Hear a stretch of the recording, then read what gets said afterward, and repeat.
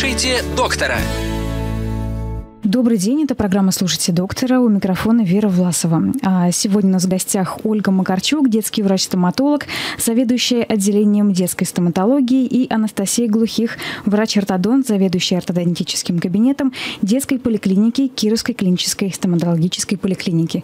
Здравствуйте, уважаемые эксперты. Здравствуйте. Да, и как слушатели, которые слушают программу «Слушайте доктора» уже не первый раз, могут догадаться, сегодня мы продолжаем тему детской стоматологии, и мы об обозначили сегодняшнюю программу, тему сегодняшней программы как актуальные вопросы профилактики детской стоматологии.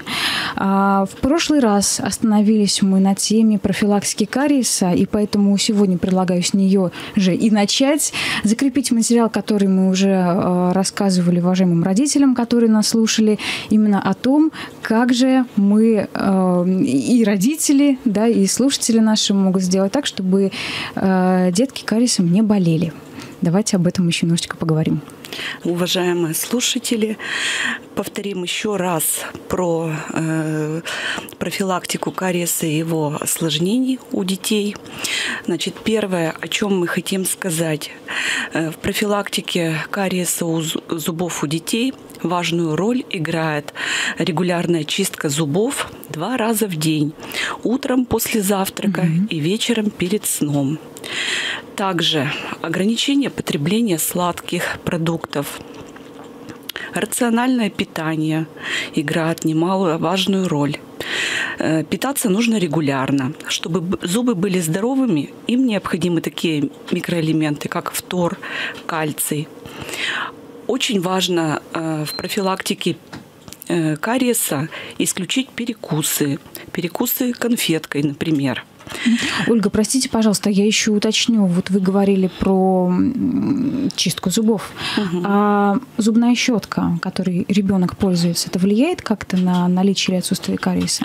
Конечно. Э, зубная щеточка должна подбираться по возрасту, э, значит, э, по размеру, по, по размеру да, рабочие части и ручки. То есть это тоже все индивидуально, все с возрастом ребенка ребенка. Все это подбирается, конечно, это очень важный предмет ухода за полостью рта у ребенка. Необходимо менять, то есть раз в три месяца, раз в сезон. Вот раз в сезон угу. а, щетка должна меняться. Какой-то уход за ней предполагается или дополнительный? А, ну, конечно, предполагается уход. Иногда зубная щеточка может и почаще меняться, потому что э, индикацией пригодности щетки служит, э, значит, цвет щетинок, форма щетинок. Это все э, имеет очень важную роль. То есть, если щетинки деформированы, это звоночек для нас, чтобы зубную щетку ребенку поменять. Конечно. Да. Либо техника чистки неправильная, потому что щетинки могут махриться в разные стороны. Это значит, ребенок либо сильно надавливает на щеточку, э, то есть либо неправильная техника чистки. Либо он еще ее может жевать. Грызть, да. да жевать. Деформировать зубками. Особенно, если зубная паста вкусная. Да. Вот. И, значит, в таком случае щеточка уже подлежит замене. Вот. Да, остановились мы на регулярном питании. Так, на регулярном питании. Также, значит, очень э, важно регулярные профосмотры у врача-стоматолога, то есть тоже все индивидуально, согласно возрасту ребенка. Вот. Э, профосмотр у стоматолога в стоматологической поликлинике, у врача-гигиениста стоматологического. Э, доктор осматривает полость рта ребенка, подбирает средства гигиены э, за полостью рта, контролирует чистку зубов, объясняет на муляжах, как это делать, э, проводит беседы с родителями, обучают и родителей, э, как нужно правильно чистить зубы, чтобы родители, в свою очередь, контролировали этот процесс у ребенка. Вот. А с какого возраста у детей возникает э, риск э, заработать кариес? Риск у ребенка с первым прорезыванием, с первым зуба. прорезыванием зуба. Соответственно, и гигиенические мероприятия тоже они должны проводиться Сами с момента прорезывания возраста. первого зуба. Да. Значит, также в профилактике кариеса и его осложнений важную роль играет активное жевание. Вот, значит, э, это мы как раз озвучивали в прошлой программе. Да, больше твердой больше пищи. твердой пищи, да, чтобы э, зубки у нас хорошо очищались, чтобы челюсти получали нагрузку. И профилактика отсюда складывается из зубочелюстных аномалий у детей. Челюсть правильно росла, чтобы зубы mm-hmm. своевременно менялись. Вот. Также в профилактике кариеса очень важную роль играет физическое развитие и закаливание. Вот. То есть э, ребенок, э, когда больше двигается, это благотворно влияет на его опорно-двигательный аппарат и осанку э, формирует правильную. Тут тоже профилактика. Ну и формирование идет. зубов, как следствие. Конечно, когда соматический ребенок здоров, то и зубочелюстная система в порядке. Угу. Профилактика зубочелюстных аномалий. Также хочу сказать о бережном отношении к зубам, избегать потребления контрастной пищи, например, холод горячее. Mm-hmm. Да. Опасно грызть зубами твердые предметы, зубами открывать крышки. Ну и профилактика травматизма э, в, детским, в детском возрасте. Это все. Угу. Удары, падения. профилактики кариеса. То есть при нарушенной целостности эмали э, риск возникновения кариеса больше, ну, как я понимаю. И тут идет и о потере зуба даже, угу. идет о потере зуба. Травматизм там вследствие ударов, столкновения с предметами. Да, то есть все это влияет. Да, и здесь мы все, да, перечислили ну, основные моменты основные. мы перечислили. Да, и вот Анастасия да. у нас уже рвется в бой. А, слышала я об одном таком еще одном способе профилактики. А, не знаю, насколько это можно назвать, конечно, профилактикой кариеса. Это герметизация фиссур. А, расскажите, пожалуйста, во-первых, это нам Ольга расскажет. Ольга, расскажет. Фиссуры, что это такое? Не всем знакомо слово. Фиссуры – это естественное углубление на жевательной поверхности зубов. Угу. То есть они фиссуры у нас бывают у маляров, у премоляров. Вот этот вот неровный такой бугорковый рельеф, угу. такой фиссурно-бугорковый то есть рельеф. То самое место на зубе, который, на которое попадает пища. Но очень уязвимое. Углубление, да, где скапливается. Естественное угу. углубление, ямочки. Как раз где вот, кариес да. и возникает. произрастает. И возникает, да. Вот у нас э, наиболее подверженные э, первое постоянные маляры, они прорезываются в возрасте 5-6 лет, угу. расположены достаточно далеко. Ребеночек в 5-6 лет э, хорошо не может почистить зубки щеточкой, достать полноценно. Э, ну, ленится, наверное, где-то. Да, ленится, допустим, и родители контролируют как-то не подозревают иногда о прорезывании плохо. постоянного зуба. Угу. Да, не, да, зачастую они не понимают сами, что этот зубик постоянный. И в этих вот фиссурах собираются остатки пищи, мягкий зубной налет, и происходит, идет благоприятное условия идут, создаются для возникновения кариеса именно вот в этих местах. Значит, э, и что, что нам, сделать? что мы можем сделать? Вот профи, метод профилактики, герметизация фиссур. Это специфический метод профилактики. Э, подход к нему индивидуальный, э, с учетом физиологии, анатомофизиологических mm-hmm. особенностей э, зубов у ребенка. То есть она не всем показана, эта процедура. Вот, э, значит, вот этот вот фиссурно-бугорковый рельеф, он заливается специальным материалом, герметиком, угу. и снижается риск возникновения кариеса на жевательной поверхности. Что из себя представляет этот герметик? Герметик э, – это в основном э, такой текучий материал светового либо химического отверждения. Он заливается в фиссуру вот в эту в ямочку врачом, стоматологом или гигиенистом. И в свою очередь уберегает зубик от кариеса. Есть материалы, которые э, содержат фториды в своем составе, то есть они будут укреплять, mm да, зубную эмаль, еще, еще помогают. еще да, помогают mm еще. Вот. То есть такой метод достаточно хороший, но следует отметить, что этот метод, он не уберегает от, не, вернее, не освобождает от чистки зубов. От обязанности. Э, да, от обязанности чистки зубов.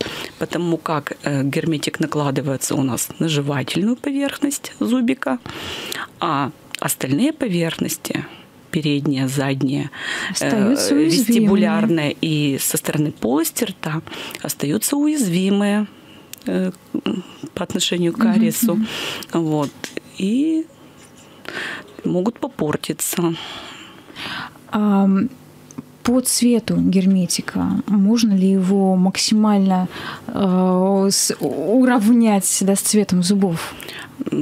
По цвету герметики ну, не бывает разные. В основном герметик, э, контрастный герметик, так скажем, он больше нужен для родителей, как mm-hmm. индикация. Цвета, что мы что-то поставили. Индикация вот именно того, что процедура проведена, родители могут контролировать угу. наличие герметика в фиссуре. То есть, и... кроме как зрительно, вот если он контрастный, больше об этом никак не узнать, не почувствовать. Ну, Сливается с цветом эмали. Если просто. герметик mm. слился с цветом эмали, mm-hmm. мы же говорим еще о том, что профилактика кариеса заключается в том, что в регулярных профосмотрах так. Вот. И если, э, допустим, что-то произошло с герметиком, стоматолог на профосмотре увидит и угу. обозначит проблему. А что может с ним произойти? как и с любой, в принципе, как и с любым пломбировочным материалом, бывает ведь какой-то процент э, таких вот осложнений, так скажем, и в свою очередь и скол герметика происходит. Mm-hmm. Трещины. То есть, да, трещины. В основном, как правило, бывает все хорошо. Да, вот как раз хотела еще спросить, в чем отличие герметизации от э, пломбирования? Герметизация, она э, в основном проводится без препарирования полости. Из профилактической точки зрения. С Это профилактической точки зрения. То есть, когда нет кариеса. То есть мы его вот профилактически фиссуре. Да, только тогда. Да, в интактной, не пораженной кариесом фиссуре проводится. Угу. И препарирование оно зачастую не требует. А пломбирование? А пломбирование – это уже когда кариесом зубик поражен. Угу. Вот, то есть в пораженном кариесом зубике происходит пломбирование. Да, и по возрасту детей получается, что вот вы говорили с пяти лет, когда у нас появляются зубки, Первые постоянные Первые маляры. постоянные маляры. Да, то есть тогда их можно герметиком воспользоваться. Герметизировать фиссуру Герметизировать. Этих А пломбирование доступно тоже в этом возрасте? Может, если уже кариес присоединился, такое угу. бывает, к сожалению, тоже. И такие зубки подлежат пломбированию. А на какой срок примерно герметизация устанавливается? Как долго она работает? Как долго может стоять? Может ну, есть случаи 10 лет, вот, которые наблюдаем. Лет. Достаточно мы можем, можем мы, допустим, из своей практики ходят с зубами с герметизированными 10 лет. Здорово. Да.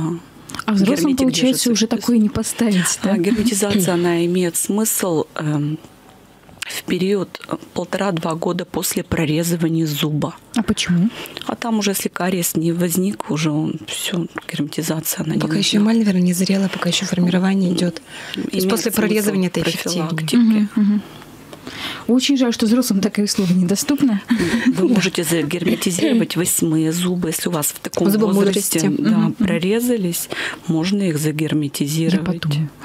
Спасибо. Вот, потому что это если очень... нужно еще. То есть это процедура по необходимости, если она нужна, то сделают. А вот такой вопрос тогда у меня возник. А, если стоит герметизация на зубках у ребенка, ребенок сразу, наверное, понимает, что вот я, получается, маляр и могу так сильно не чистить. И он уже меньше внимания к ним обращает, на них обращает, ленится, а, не дочищает зубы до идеальной чистоты, да, или сравнимой с идеальной. Вот как-то это психологически ведь тоже сказывается.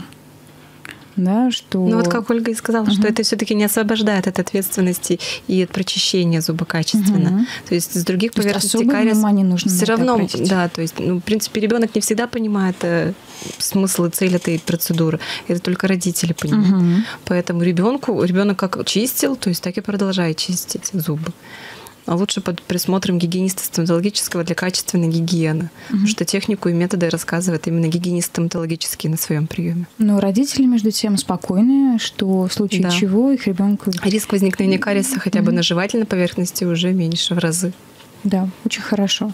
А, давайте пойдем дальше.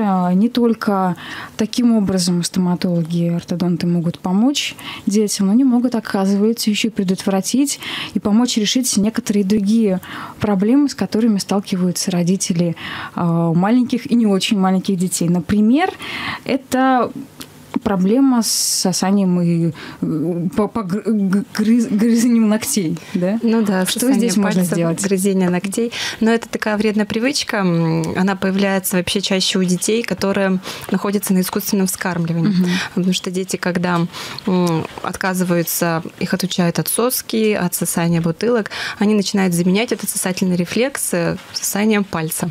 Вот. Это такая достаточно ну, нехорошая привычка, которая может длительно закрепиться крепится и которая ведет э, к возникновению аномалий зубных рядов, то есть деформации зубных рядов, искривлению. А, конкретно мы уже боремся с последствиями все-таки, угу. то есть ортодонтическими способами, аппаратами, а, справляющими съемными пластинками, даже брекетами иногда. Но вообще, конечно, нужно профилактировать эти мероприятия.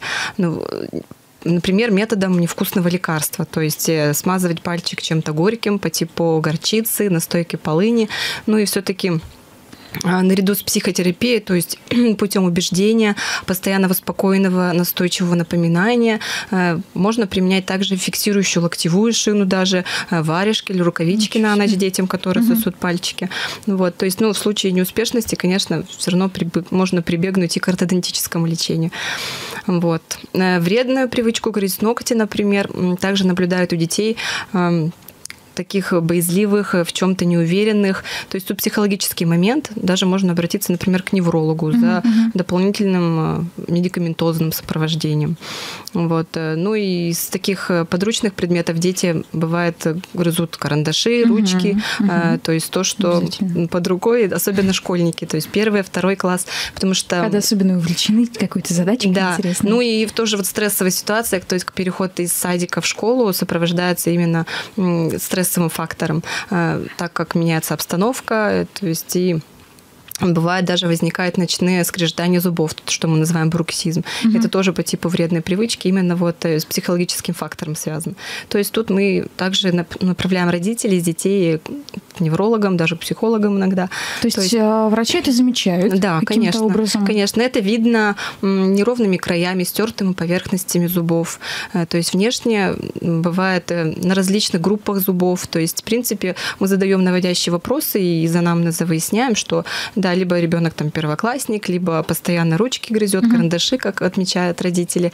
То есть мы пытаемся с этим бороться уже либо ортодонтически, либо путем вот э, настойчивого рекомендаций как ребенку, так и родителям, чтобы они контролировали этот процесс и немножко оговаривали своего ребенка. Вот, то есть, ну и часто приходится, конечно, выравнивать зубы, то есть ортодонтически все-таки аппаратами, аппаратурно. Угу. То есть делать их красивыми, да, ровными, ровненькими, гладенькими, чистенькими. Да. А, что касается вот именно неровности, здесь какая еще профилактика может быть? Ну, вообще профилактика, конечно, должна начинаться вообще еще в предначальном даже развитии детей, то есть на этапе планирования детей, то есть медико-генетическая консультация необходима, потому что количество зубов, э, положение их, форма зубных рядов, соотношение, это все бывает наследуется от родителей и ближайших родственников родственников, то есть бабушек, дедушек. Вот. Затем э, пропаганда необходима правильно режима труда, отдыха уже будущей мамочки, питание, тоже также важно, потому что все заболевания хронические, очаги инфекции, они также могут передаваться от матери к плоду в будущем, что потом, опять же, может сказаться и на неровных зубах э, при прорезывании в будущем. А, также профилактики простудных заболеваний самой мамочки, угу. устранение вредных привычек у беременных. Вот. А вообще самих детей. Э, это и правильная осанка, то есть эм, правильное положение головы в покое, то есть поддержание позы тела правильной. В работу комнаты здорового ребенка в возрасте до года в поликлиниках необходимо включить даже обучение родителей правильного способа вскармливания грудного детей, угу. именно пользу грудного вскармливания, в отличие от искусственного. Потому что некоторые мамы перекладывают ответственность грудного вскармливания на искусственное, так как не все смеси хороши одинаково э, и так далее. То есть долгие э, кормления из бутылочки и соски, они все-таки потом приводят к деформациям. К году сосательный рефлекс угасает, и поэтому ребенка после года уже нужно от сосок, от бутылок отучить, иначе mm-hmm. возникнет обязательно аномалия и деформация зубного ряда, которую потом необходимо будет корректировать. Также, а, что можно сказать? Э, про питание тоже так же, как уже говорила Ольга, то есть э, чем дольше ребенок не знает, что такое сладкое, как я говорю, тем лучше, чтобы не возникало потом проблемы, манипуляции со стороны ребенка и, и проблемы с родителями потом. Потому что также все, что вызывает кариес, э, профилактика кариеса нам тоже в подспорье, э, так как вследствие осложненного кариеса уже зубы бывают зачастую раньше удаляются, соседние зубы занимают место удаленного зубика, возникает дефицит места для прорезывания постоянного mm-hmm. зуба э, и сужение зубных рядов и так далее. Также профилактика профилактика даже общесоматического состояния. Если ребенок часто болеет, а, возникает привычка дышать не только носом, но и ртом. Смешанный тип да, дыхания, тоже говорили, он также да, вызывает сужение рядов. Вот, то есть тоже, что необходимо э, потом прибегать к ортодонтическим аппаратам все-таки. Угу. Поэтому профилактика достаточно обширная и затрагивает вообще все сферы жизни. То есть э, пока ребенок растет, аномалии могут возникать, то есть как, как врожденные, собственно говоря, которые наследуются от родителей, так и приобретенные в процессе жизни. Поэтому надо обязательно контролировать, то есть все своевременно делать, ну и все-таки ходить на профилактические осмотры э, гигиенистам, э, к стоматологам, которые вовремя, если увидят, могут направить на консультацию компетентным специалистам, то есть к нам, к ортодонтам. А, и еще одну тему мы сегодня с вами успеем а, начать а, разбирать. Это на самом деле тема очень большая. Это исправление прикуса. Очень много, я знаю, что существовало раньше и существует сейчас способов, методов приспособлений, чтобы при прикус у детей, да и взрослых, наверное, исправить. Вот скажите, пожалуйста, начиная с какого возраста вот эти приспособления, да, брекеты, всевозможные пластины можно использовать? Начнем с того, что есть как безаппаратурный метод так. лечения, так и аппаратурный. Так. Вообще всех детей мы стараемся лечить комплексно. Угу. То есть, э, начиная с безаппаратурного метода лечения, назначаем различные комплексы гимнастики угу. для э, коррекции правильной работы мышц. Например, околоротовой мышцы полости рта, э, мышцы челюсти, челюстно-лицевых мышц.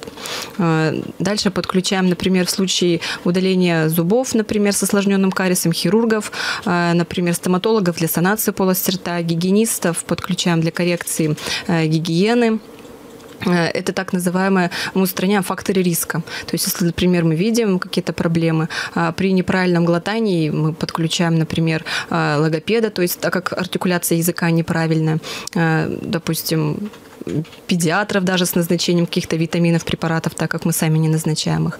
Это безаппаратурные методы лечения. К аппаратурным методам лечения это у нас относятся съемные аппараты и несъемные. Съемные это у нас э, пластиночки пластмассовые с металлическими элементами, которые помогают челюсть расширить и поставить э, группу зубов, отдельные зубы э, на свои места. Вот. К съемным также относятся еще силиконовые эластопозиционеры по типу тренеров. Они представляют собой капповый аппарат по типу как капу боксеров, мы детям mm, говорим. Их ночь, наверное. Да, да их носят, да, угу. только дома, только либо днем э, час-полтора по времени, и плюс на ночь, ночное ношение. То есть э, никто не знает, что ребенок носит аппараты, то есть в школу не надо носить. Угу. То есть носится он Очень именно да. дозированно, да. Вот. А к несъемным это у нас относится брекет-система, э, металлические замочки, которые приклеиваются на эмаль и корректируются путем смены дуг металлических, за счет чего идет выравнивание зубов и зубного ряда. То есть брекеты, они более лобильные, и можно варьировать по высоте наклеивания, по повороту зубов. То есть у брекета все-таки побольше возможностей. Но они показаны детям уже в более взрослом возрасте, так как угу. требуют а, особых навыков гигиены и все-таки сознательности от пациентов а, в плане чистки. Потому что м, при фиксации брекетов они полтора-два года а, носятся на эмали, что способствует все-таки возникновению кариеса впоследствии. Поэтому лучше детям более подросткового, старшего возраста, даже взрослым, потому что ограничения по возрасту для брекетов практически нет. То есть даже взрослые да, люди поэтому мы, лет могут конечно, да, поэтому мы даже часто детей и подростков, у которых уже поменялись все зубы, не берем рано, потому что они не готовы морально mm-hmm. и физически, поэтому все даже ортодонтические манипуляции у нас проходят через гигиенистов. То есть сначала коррекция гигиены, какой бы аппарат во рту ни стоял, обязательно нужна идеальная гигиена, потому mm-hmm. что любой аппарат гигиену усложняет. Возникает э, образование дополнительного налета, пищевые остатки скапливаются, э, возникает кариес, то есть вроде как бы одно лечим, а другое калечим. То есть поэтому, конечно, вся коррекция у нас идет через гигиенистов. Ну и на этапе ношения любого аппарата, конечно, гигиенисту раз в 3-4 месяца, то есть даже чаще, чем обычное посещение раз в полгода пациентов, которые не носят аппарат, мы назначаем, то есть кооперируемся с гигиенистами стоматологическими именно. Ну и после, все-таки после снятия любого аппарата также необходима чистка гигиениста и, возможно, даже санация отдельных каких-то очагов кариеса, потому что все-таки при ношении любого аппарата кариес возникает, особенно вот у детей, потому что mm надо mm очень хороший очень, уход за аппаратом, да, и не только за аппаратом, но и за зубами в этот период, потому что вот нагрузка, еще раз говорю, на гигиена очень высокая в этот период. Угу. Ну, то есть а, подрезюмирую, что деткам более младшего возраста, то есть от, от 5, наверное, лет, да? Да, можно, до можно 12, пораньше. до 14 это капы, капы, да, трейнеры, пластиночки. А трейнеры? Трейнер это вот силиконовая капа как раз, угу, да. Угу. Пластины, которые съемные. Да, которых легко угу. снять, почистить, то есть они в этом плане проще. Но единственное, что минус, в чем носить все равно любой аппарат нужно постоянно. Конечно. И регулярность в этом деле нужна. Поэтому обязательно э, требует навыка и упорства только со стороны родителей, э, которые будут кооперировать с ребенком, mm-hmm. э, ну и со стороны самого ребенка, то есть обязательно мотивация должна быть. Поэтому часто в детском возрасте не предоставляется возможным взять на лечение ребеночка, потому что не всегда он понимает, для чего это ему надо. Поэтому консультация у нас всегда начинается с вопроса, что тебя беспокоит, именно маленького пациента да, нашего. Да, да. Поэтому, конечно... Его мнение важнее Да, всего. его мнение важнее, важнее наших с родителями мнений, амбиций. А капы, они индивидуально изготавливаются? Капы, они в основном фабричные. Мы используем в своей практике, то есть э, тренеры, которые готовы уже производители. Угу. То есть они просто подбираются по размерам, по жесткости они идут. То есть индивидуально смотрим по конструкции, по особенностям именно в полости рта, чтобы подбирать. Угу. А, правильно я понимаю, что ребятам более старшего возраста, то есть от 12-14 лет, а капы уже не показаны и пластины. Они могут использоваться, есть даже тренеры и для взрослых, собственно говоря, и для коррекции там, положения отдельных зубов, для коррекции храпа даже мужчин. То есть тренеры немного функционально достаточно. Mm-hmm. И мы их и носим даже для привыкания к брекетам, то есть mm-hmm. дополнение, как э, дополнительный метод лечения. Вот, в принципе, и взрослым иногда пластиночки могут быть показаны для коррекции одного-двух зубов, когда не хочется ставить брекет-систему, mm-hmm. то есть на весь зубной ряд. Mm-hmm. Есть у некоторых некоторых такая возможность, но это индивидуально по показаниям. То есть, потому что пластинку все-таки нужно носить постоянно, а не всем взрослым это удается в связи с работой, например. То есть постоянного ношения там требует э, разговоры, переговоры. То есть, угу. поэтому надо смотреть индивидуально. Вообще, конечно, любой способ лечения э, ну, индивидуально уже на консультации обсуждается, то есть насколько подходит это именно пациенту, именно в данной его клинической ситуации. И сроки, наверное, определяет врач. Конечно, то есть в основном... От чего это зависит? Ну, зависит и от возраста, и от ситуации, от тяжести аномалий в полости рта. То есть, ну, вообще срок ношения пластинки не менее года, то есть год-полтора может быть. Ну, брекеты где-то полтора-два мы говорим. Иногда mm-hmm. бывает и дольше, то есть в силу там даже независящих от нас обстоятельств, например, пациенты бывают э, нарушают наши рекомендации, откусывают э, твердую пищу, брекеты теряют, э, мы что-то переклеиваем, то есть затягивается лечение, э, либо там когда-то не приходят, например, сроки э, посещений переносятся и так далее далее. То есть много причин бывает, когда мы задерживаем эти сроки лечения. А так вообще индивидуальный год, полтора, в принципе, можно скорректировать аномалию от легкой до средней степени тяжести аномалию. Да, ну и, конечно же, как вы правильно сказали, Анастасия, в первую очередь а, необходимо учитывать пожелания, мнения детей, которые Наших приходят стомато- к стоматологу, к ортодонту, что их беспокоит, если что-то беспокоит и, соответственно, с этим и бороться. Так сегодня мы поговорили об основных, наверное, самых главных принципах, э, как сохранить здоровые зубки у детей. А, еще раз напоминаем родителям о том, чтобы не обращали внимания и создавали положительную атмосферу. Вот об этом мы еще сегодня не сказали, но обязательно упомянем положительное очень отношение а, детей своих к, стоматологам, да. что это все все-таки во благо, это Конечно. не во вред, это все принесет очень большую пользу.